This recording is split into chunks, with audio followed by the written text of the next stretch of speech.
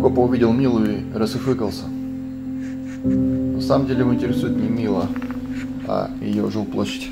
Ну, как и в жизни у людей бывает то же самое.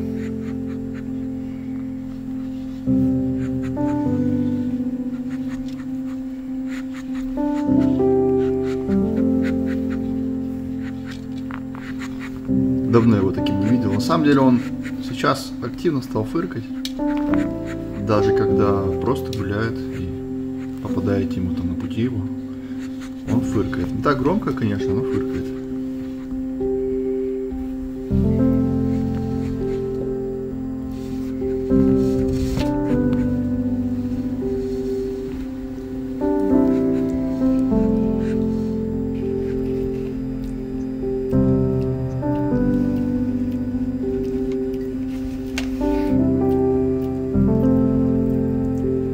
Копа, не приставай к ней.